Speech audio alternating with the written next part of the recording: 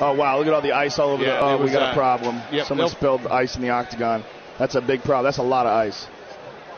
Bucket gonna take the some ice time. went. That'll take a second. Our guys are working it. This is a disaster. Let's go, let's go, let's go. Oh no! This guy, look at that. They knocked the bucket over. This is the goddamn Three Stooges. what are you freaks doing? Everybody's booing. Now there's even more pressure. Oh, then now they're sweeping it out. That's good.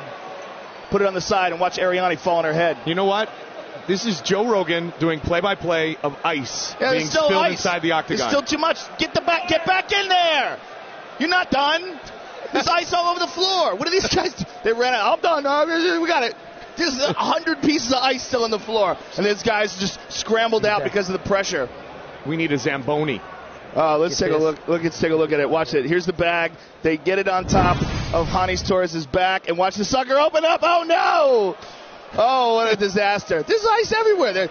Those corner men. Someone needs to kick I their can't ass. fight. I, and Hani's saying, I can't fight with this ice I'm here. looking at ice right here. I need to point it out. There's a piece right there. There he gets it. Oh, yeah.